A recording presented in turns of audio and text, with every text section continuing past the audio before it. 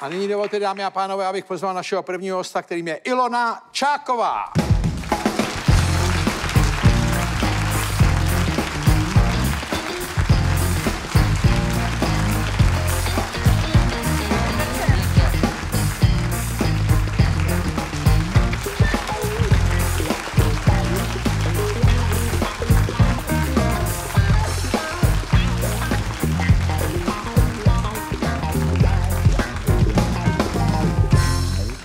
Ilona Čáková byla naším zpěvačka, kdyby to náhodou někdo nevěděl.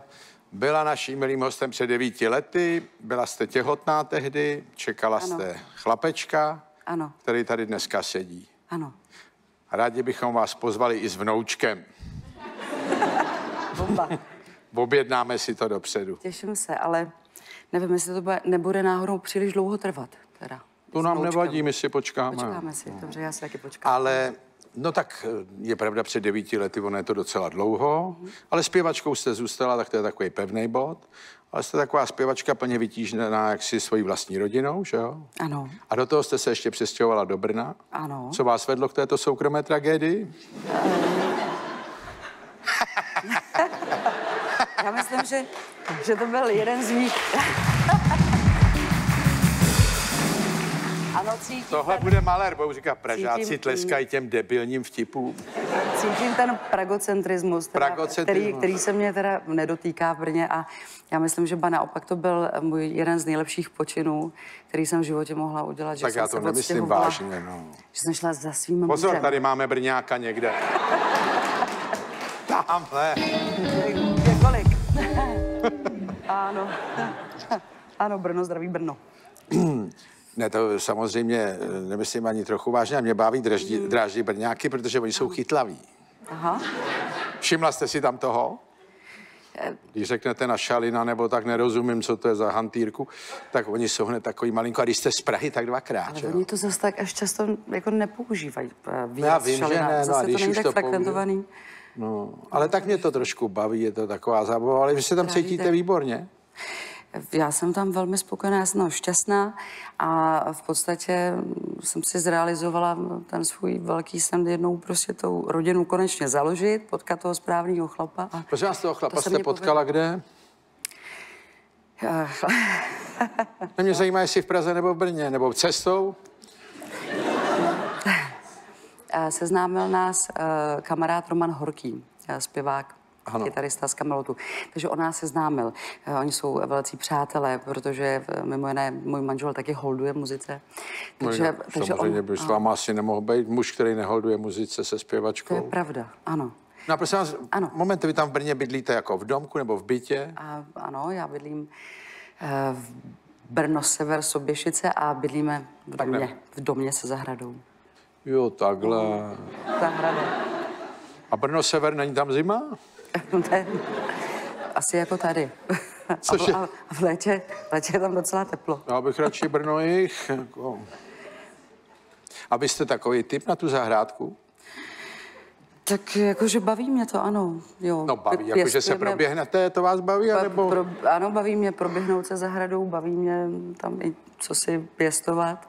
Jo. E, svoje takové ty, jak se říká dneska moderně, bio. Bio Jo, produkty, vy jste tahle bio zelenina, jo. A ono to totiž jako samo i eh, bez jakýchkoliv eh, chemikálí, tak ono to tam i samo vyroste. Takže já vlastně mám bio nechtěně. Počkejte, a děláte pak s manželem takový, že do toho kousnete, říkáte, no to je úplně jiný. Přesně tak. kafe. Naprosto. To je rajčátko, chválíme se, plácáme se po ramenou, jaký jsme. Tohle bych rád někdy Pěstitele. psychologicky studoval, že jich to těm lidem prohazovali, jestli to poznají. Bio, nebio. No to je, hele, úplně jiný kafe. A vy jste... Samozřejmě můžete, můžu vás opít rohlíkem neboli tím biorajčetem, to je... To No ale tak, stát. ona to je, eh, pozor, nejste první zpěvačka, to bylo víc zpěvaček, ona je to dobrá relaxace taky na psychiku. No ale jak to třeba děláte s vystupováním, když máte koncert, máte večer, tak co děti, to dostane manžel o starosti? No, přesně tak. Je, je, jestli není týranej náhodou. Není, není, myslím, že není. Ne? Ne, ne, ne nestěžuje si, ještě si nikdy No nestěžoval. nestěžuje, to jsem tady říkal v úvodu, ty muži se bojejí si stěžovat.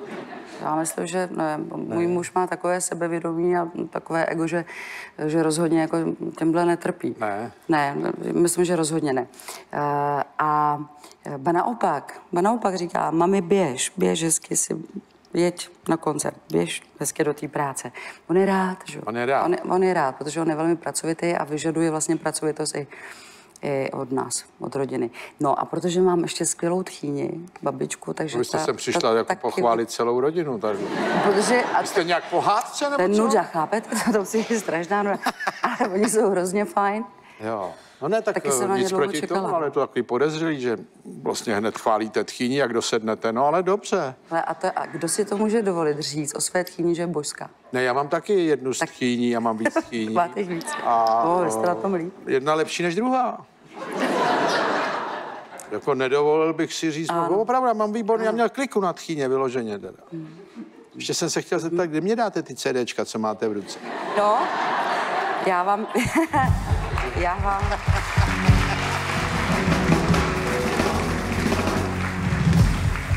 Já vám je strašně ráda dám. Já jsem si jsem z toho nervózní, já, jsem já- si, já jsem si netroufla, abych vám neskočila třeba do řeči. Ne, vy s tím Ono je furt to nesmysl. čermujete, já na to Šermuju, koukám a šermuju. říkám si, tak kdy mi to dá, no a možná mi to ani nedá. Tak eh, toto, toto moje nová deska po deseti letech, protože jsem nejdřív rodila ty děti a starala Ano. se o ně.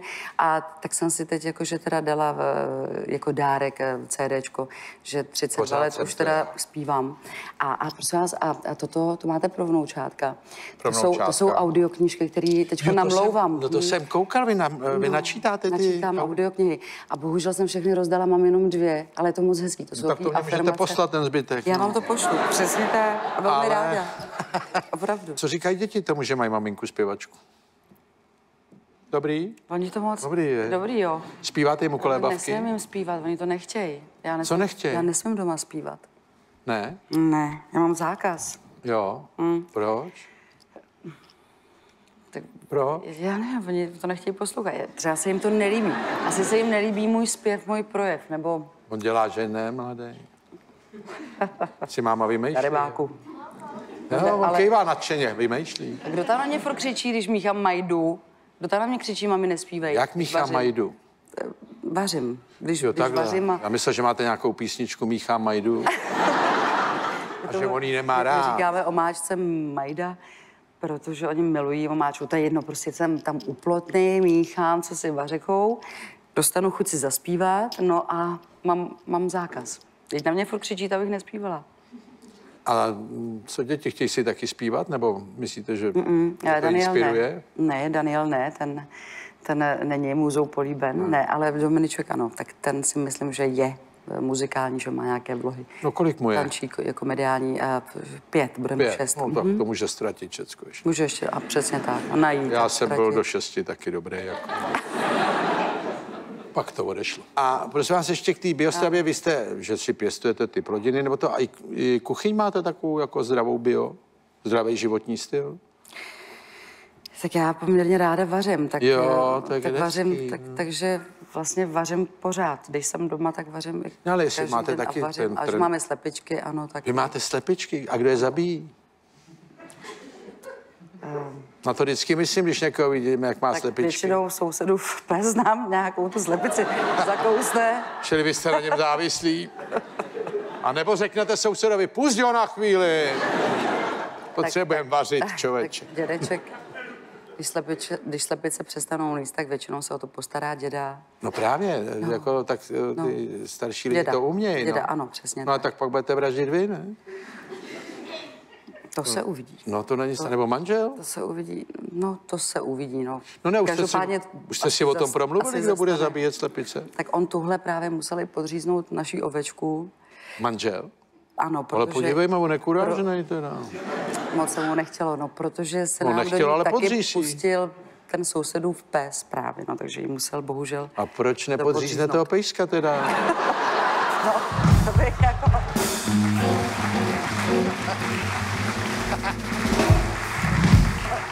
Tak vy tam máte takovýhle predátora, tak to vyřiďte, ne? Přesně takového predátora. Já myslím, že už je to, už je to všechno Co to je za vyřízeno. rasu? Už je to vyřízeno. Hm. Nějaký salašnický, jako Jo, salašničky, ty jsou blbý, jo. To, Jo, tam by mohl sejmout ty manžela, kdyby nám to přišlo. Pozor, to je no, ty jsou takový Ostrý. ostrý. To, to ani s majitelem nemusíte mluvit. To je třeba domluvit rovnou s tím psem. Ano.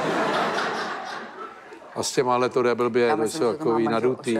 už. No. Jsou- No jo, takže on vám to tam vraždí, ten pes, takže díky tomu máte pestrou kuchyni, že co, co on jako poraní, to vy jak si sníte. Dalo by se říct. Ale tak to vás obdivuju, že můžete. Já s tím nemám problém, že jo, to vraždění těch zvířat, stahování Já z kůže. bych to taky nedala.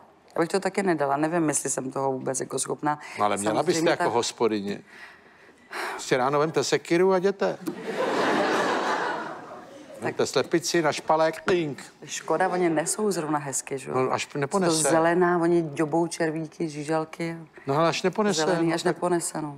no a tak vy nepoznáte, která nenese, ne? Dá se to poznat. Se ptáte Která toho nese ne- syna? babičky. Nebo... Já to totiž... No ne, že to- byste to přišla ne- do kurníku, ale to- která z vás nenese? No právě to... To, co? to bych musela být... To bych musela... bych musela být doktor Dolittle, abych si s ní no, jakože no, pogdákala. Jste přišla se sekirou no. do kurníku a... No, ale tak ono to patří, to je přiroz... lidská přirozenost. Tak... To bývalo dřív, že jo? Teď No- no, jako nejsme konfrontovaní s tím. No ale tak řada lidí na venkově to běžně dělá, teď je to normální. Já akorát, jak jsem z toho města, ano. tak já s tím mám problém. Já mám vůbec problém s peřím a s drůbeží a takový. Já to nemám moc rád. Mm. Jako na talíři dobrý, ale jinak ne. Mm. Jo. A beran, no, tak to už je skoro i nebezpečný, že jo? Máme i beránka. Začal, no, začal být trošku divočejší, začali se v něm probouzet. Jo. No, no, protože máme ovečku a beránka. A beránek začal být, Vy si tam hrajete na betlem trošku tak. ne, nehraje si na betle. A co máte Beránek ještě? už není tak hodný, jako ten správný beránek. No, on jednou porazí manžela a hned si ho upečete. No. Ale Začíná a si dovolovat. No. máte slepice, ovce, Příroda. co ještě? A pejska máme a Pejska. no, ještě si pořídíme asi nějaký ty opeřence, třeba krůty. Kruty. Jo, čili vy máte plnohodnotný hospodářství. jako. No úplně ne, Jak to? ale no tak zatím jenom doplňujeme, ještě to není plnohodnotný hospodářství. A, A záhony? Ani, a já myslím, že snad ani takovou ambici manžel nemá zcela. A záhony.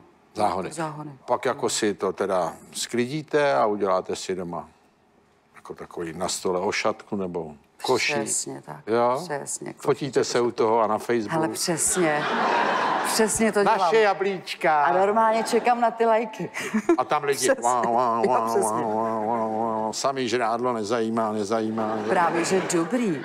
Co? Právě, že teď to právě zajímá, že jo, volný čas, eh, to, co uvaříte nebo vypěstujete, že jo, zvířata, děti, tak to nejvíc lidi zajímá, že jo. Ne, No oni ne to tam všichni profese. dávají, no. no. A všichni píšou, gratuluje Martičko, hezký Lojzo. Ano. No, dobrou chuť, Jirko. No. no to tam naťuká, jde od toho, ale je to takovej jako... Neosobní. Je to zaplebelený. No, Ta to- sociální síť by potřebovala proplejt. No, tak já Takže- pravděpodobně uh, asi proplývat všichni socia, socia, sociální sítě nebudu. Každopádně si představte, že já jsem si založila svůj Instagram v loni. Jsem byla pohlcená, No, prostě donucená, No. abych se nějak jakože profesně prezentovala. No, jo. A to Takže až já- loni zakládala, jo. No až loni. Facebook mám dlouho, ale tak dva roky jsem začala s ním eh, trošku více pracovat, no a Instagram jsem si založila v loni teprve. Mm, Člověk se musí naučit s tím žít profesionálně, ale je pravda, že jako zpěvačka to potřebujete.